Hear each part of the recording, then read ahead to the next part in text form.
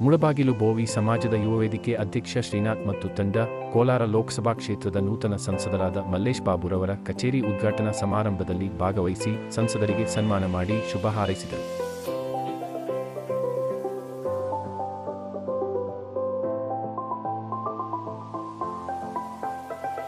ಮುಳಬಾಗಿಲು ಬೋವಿ ಸಮಾಜದ ಯುವ ವೇದಿಕೆ ಅಧ್ಯಕ್ಷ ಶ್ರೀನಾಥ್ ಮತ್ತು ತಂಡ ಕೋಲಾರ ಲೋಕಸಭಾ ಕ್ಷೇತ್ರದ ನೂತನ ಸಂಸದರಾದ ಮಲ್ಲೇಶ್ ಬಾಬುರವರ ಕಚೇರಿ ಉದ್ಘಾಟನಾ ಸಮಾರಂಭದಲ್ಲಿ ಭಾಗವಹಿಸಿ ಸಂಸದರಿಗೆ ಸನ್ಮಾನ ಮಾಡಿ ಶುಭ ಹಾರೈಸಿದರು.